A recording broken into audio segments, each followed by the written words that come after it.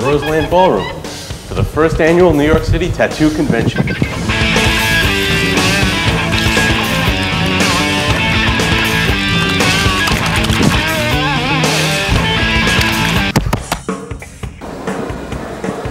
Hey, Bruce. Hey, you doing? Hey, can I interview you for a Sure. second? How you doing? All right. Where you been, man? Oh, I'm in prison. Really? Let's talk about your tattoos. That's what we're here for. Uh-huh. You got a favorite tattoo? Uh, my back. You ever wake up in the morning and just look down at yourself and you forget you had all these tattoos? You go like, ah! Nah, I just regret this one right here because it stands up on a collar when I wear a shirt and a tie. Oh, really? Yeah. You could get it removed though. Fifteen hundred dollars a square inch. Forget about it. It's not worth it. It's part of your image anyway. What image is that? I don't know. you tell me. I don't have a bad image. I'm a good guy.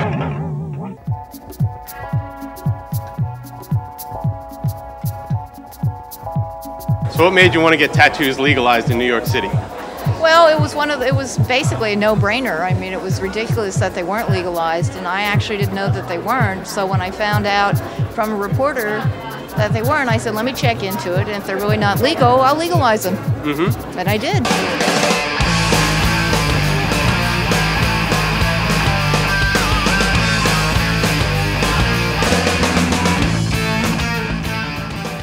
Clearly, this was an industry, very active industry. The best thing to do is legalize it, regulate it. The tattoo artists then don't have to feel that somehow they have to be underground. People who want tattoos can feel that, can be confident that the procedures are safe. So you said you were thinking about getting a tattoo? Have any designs in mind? Eh, Not quite sure yet. maybe I'll do one of those Millennium snakes, but Oh, yeah. a serpent eating its tail is, Mm-hmm. you know, Midgard serpent, eternity rings, all those good things. What's your name and where are you from? Um, my name is Clayton Patterson. I'm from New York City, the Lower East Side, and I'm the uh, production coordinator for the uh, tattoo uh, convention in New York City. Tell us a little bit about putting this thing together. Well, this was a very uh, interesting project to put together because uh, Steve Bonge, uh, one of the uh, people putting this together, Wes Wood, and myself, we uh, really were instrumental in legalizing tattooing in New York City. So the three of us worked very hard to uh, to make this happen, and one of the benefits of that was having the first international tattoo convention in New York City, which is really a wonderful and great thing because modern ta- tattooing really got a big advance out of New York City because Samuel Riley invented and patented the first electronic tattoo machine. So that's what made all of this possible. So New York has always been important to uh, the history of tattooing in both America and the world. Okay, you have a tattoo? Yeah, Where do you have it? on my arm. Let me see it. Turn it over. Are you proud of it? Yeah, I am. Very Did it cost you a lot of money? Yeah, it costs a whole bunch. Did you save up a lot? Did you work hard on a job to get it? Yeah, you could say. And do you think it expresses who you are? Slightly. I see you have a few tattoos on your legs. Would you like to discuss some of the meanings or some of the uh, stories you have behind them? Actually, what some people do, they they get a tattoo off the board. They say, "Oh wow, that looks great. Let me get that skull with the bleeding heart and all that shit."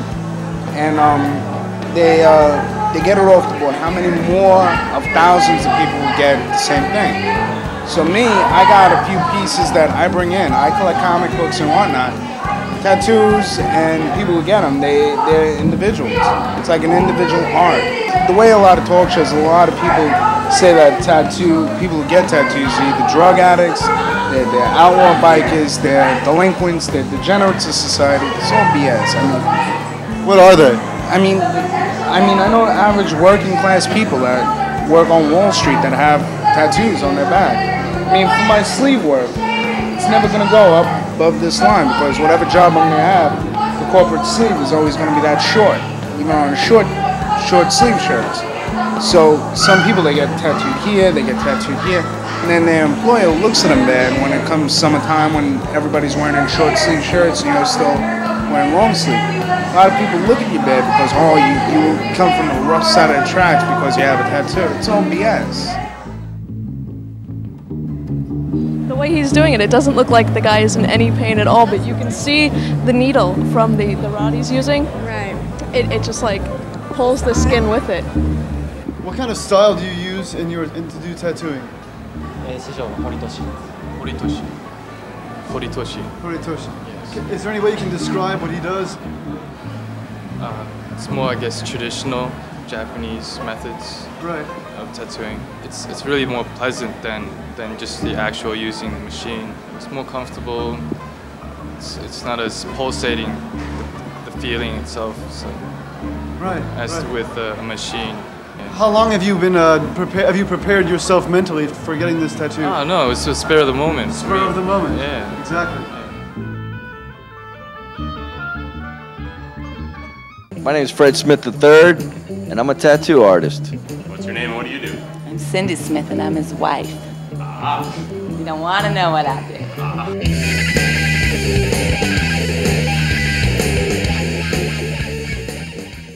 So what's your background?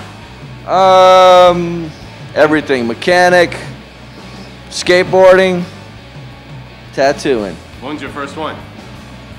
I was 15. Right after my dad died, I said, I'm ready. You got a favorite tattoo? Nah, I just like tattoos. Well, at first, my mom was pretty cool. You know, I, I was 15 when I started, and I started getting a lot at 15. After the first two or three, she was like, that's cool, whatever. And then after that, it was, what's wrong with you? Wait, your next one, why don't you get stupid on your forehead? But now mom's getting tattoos. But now my mom is actually getting tattoos. President tattooed. of the So, Lions Club getting tattooed. so things happen, you know what I mean? Is that your influence? oh Uh, yeah, she you makes know. me sign everyone. Oh, you're you're tattooing your Oh, mom? of Yeah. course, Wow. him. That's definitely unusual. That is so. What was your first tattoo? And my skull and crossbones. Look at my neck. First one, 14 years old. Lad, everything, get it. This is my favorite one for my son. Fred Smith before. Got that breastfeeding, you know. Skateboard too. And And tattoo. motorcycles. And he's done a tattoo already. He's only old, three. and So like if the. Guinness Book of World Records is out there, You did a tattoo. How'd it come out? And it looks like a skull.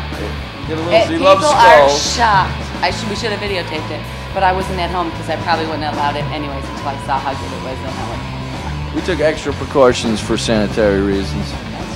Wait, who did he Sterile. tattoo?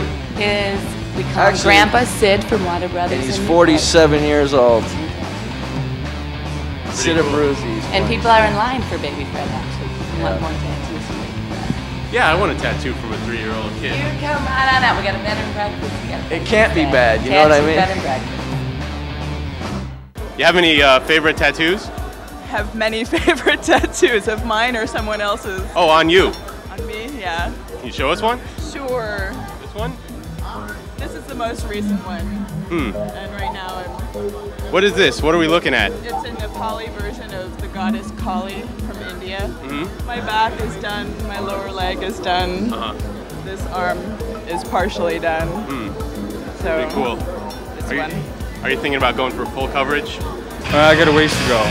What's your name? Tom Hammond from Rumford, Maine. And what's your first tattoo? This rose on my upper arm. And did it sort of take off from there? Yeah, I joined the Air Force and found a lot of tattoo parlors. Uh-huh. Uh, kept going.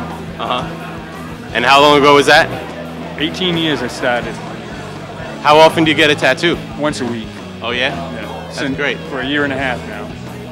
Um, and you've got a guy who uh, who does most of your tattoos? Yes, he's right here. Okay, let's uh, bring him over. My name is Adam Mazza from Dixfield, Maine. And uh, you did a lot of these tattoos we see over here on Tom. Yeah, there's uh, face and hands and a lot of other stuff, a lot of other larger stuff. When did you start tattooing? Probably about three years ago. Had you tattooed anyone's face before? No, just Tom's. Is there any spe- special precautions you need to keep in mind when you're doing that? Uh, you, you just can't go real deep. You got to be real careful about angles, and uh, the skin can get uh, torn up quickly if you're a little too Uh-huh. heavy on it, you know. So Uh-huh. you got to take it real easy on something like that. I say what Tom's doing with with his whole, you know, the whole facial angle and having it totally visible to the public at all times. I mean, that's that's bringing it in a new way. That's forcing people to accept it. What are your tattoos, do you think, what do they say about you? Saying pretty freaky, probably. Are you in general, like even if there was no such thing as tattooing, you think you'd still be kind of a freaky guy? Not at all. I'm the most normal person ever. Hi. Hi. Hi. What's your name? Mark Sennett. What's your name? Mary Lynn Blazer. And are you guys tattoo artists? No, we're not. What do you guys do? We're going to be helping the tattoo artists buy insurance in case they get sued by someone who is hurt while they're working on them or claims that they're hurt. How common is it for a tattoo artist or a piercer to get sued? We do find we do have some insurance for people who do permanent makeup, which is a form of tattooing, obviously.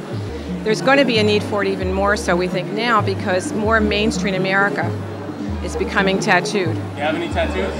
Well, I have one, not a real one. These are temporary tattoos that are done with like an airbrush. Uh-huh. And basically, I can actually show you what I'm doing. Um, give me your arm. Stick your arm right here. We use a. These are like these are specially formulated ink that uh, they use for. Uh, they use actually all these these for all the movies and things like that. Right. So yeah, definitely. I'm pretty happy with that myself. Cool. What's your name and where are you from? John the Tattooer from Slovenia.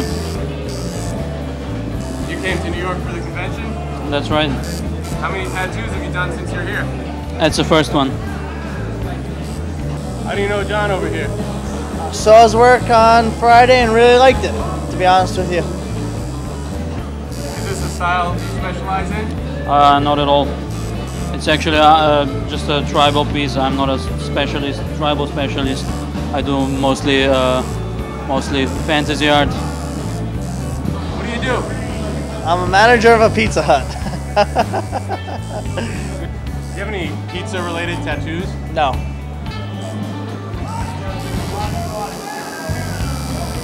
How long have you been tattooing? Uh, I don't remember. What's your name? My name is Hans Huisman And where are you from? from uh, from the Netherlands, Europe. And uh, do you have a favorite tattoo? Uh, yes, this one, the the carp on my left thigh. Why do you like it? It is not my most recent tattoo, but it is one I picked out myself, and I made a composition of two different things. So the little man is from one tattoo, and the rest is from another one, and I made myself a kind of compilation, and there it is. My first tattoos have been done uh, about 20 years ago in, in 1980, and they were done by the famous Sebastian from London.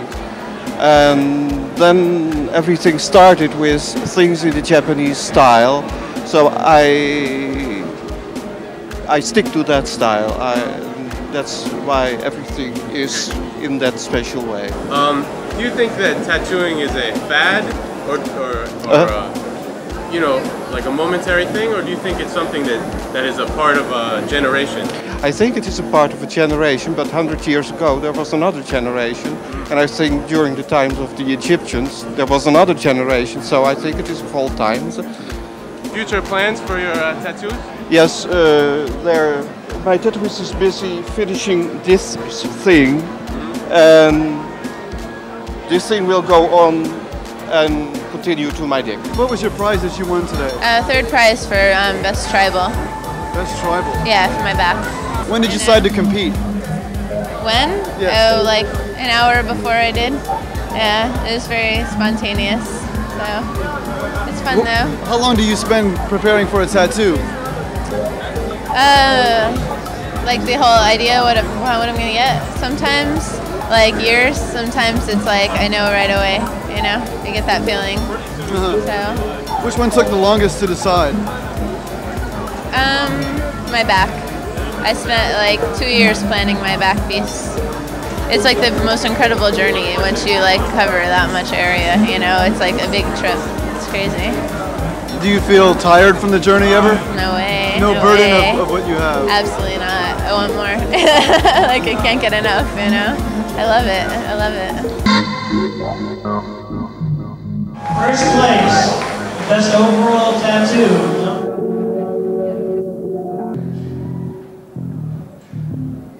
Hi there, what's your name? Isobel. And where are you from? I'm from England. Hey, I think you're in the Guinness Book of World Records, aren't you? I hope so next year. What for? A full bodysuit everywhere, except my face and my hands and my neck. And uh, what's your most recent tattoo? Uh, I'm having my top recolored, So here, just healing, just down there, and that one's new in there, and that one there is new. So um, next time I go, I will have another piece put in the back where it's a bit bare across the back. So I uh, get maybe some sort of animal across there.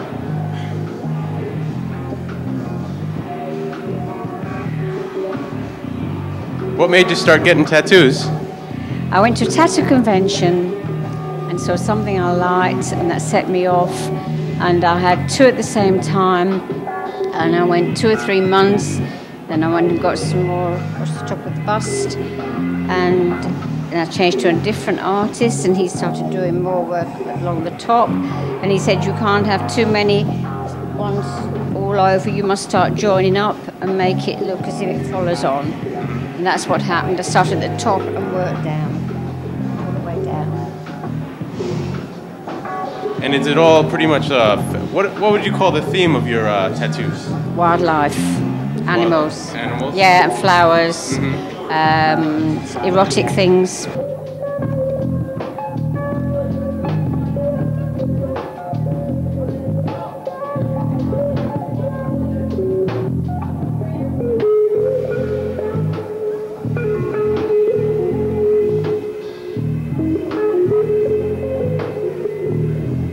Where do you go from here? Yeah, that's the problem. Uh, maybe um, if things fade, I would just sort of get them recolored. Uh, I might eventually do my hands. Sort of a renewal like spring. Yeah, because I get a buzz if I don't go. I feel I must get some more tattoos soon. You're hooked. I'm really hooked, yeah. Yeah. Tell us about your piercings. 40, 40. 40 of them. I intend to have some more down there. Yeah. Nine there, two there, two there, uh, 13 there, 13 there, 40, yeah.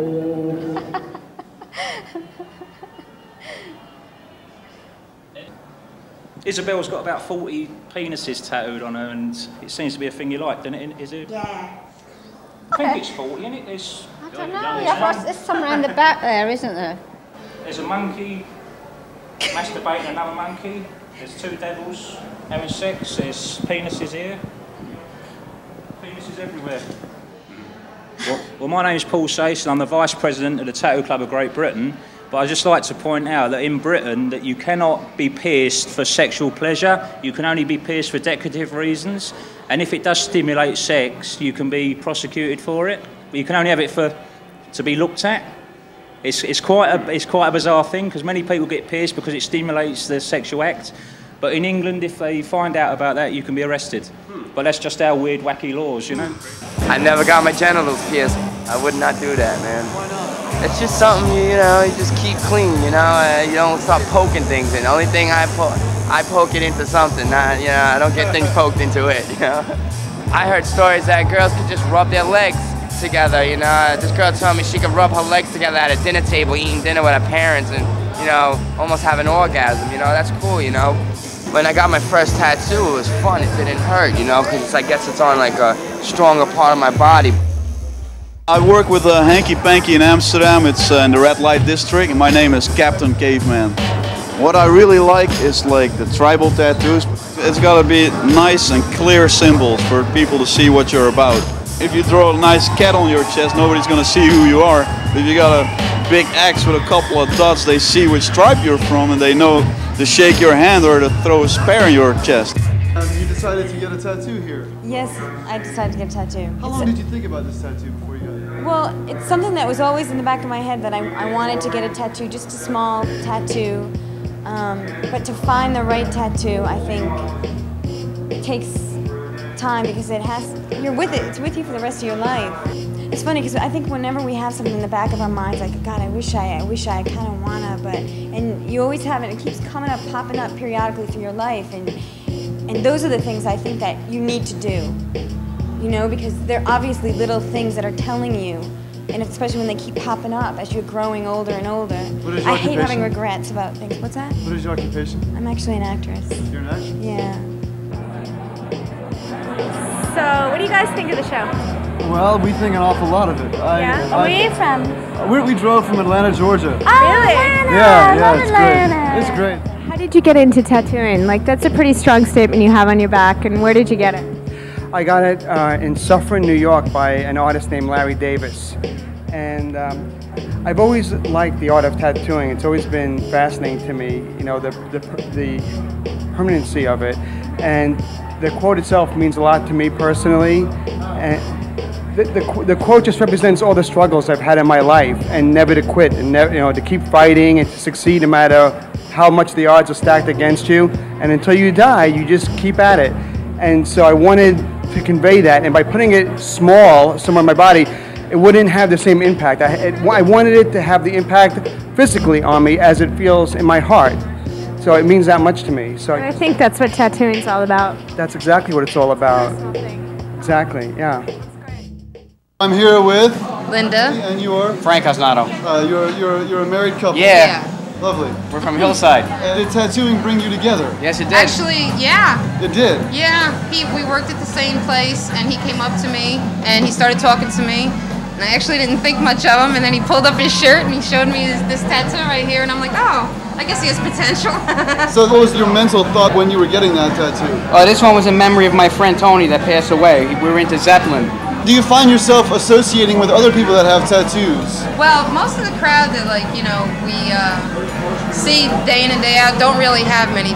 You know, we're we're, we're like the freaks of the crowds Yeah. because we have all the tattoos and shit. You know, so we don't really. You know, it's only when we come to like conventions and uh, when we go to biker swap meets and shit like that that uh, you know we see people that we can relate to. So tattooing is. It's a way of life, really. Indeed. Yeah, because Yeah. we go by, you know, like you get the semblance, like people say, what do you get tattoos for? You know, I'm a fireman. So I got, you know, I got the Taz with the saw. He's cutting the, my leg open with the dragon coming out. Plus, he's got all I got fire my back. department shit here. Yeah, so it's like a way of life, you know, like people say, I'm like, I do this for, do this for a living. Some people like go to movies and dinners and shit like that. You know, this is we don't go to bars and hang out. We we do like biker swap meets.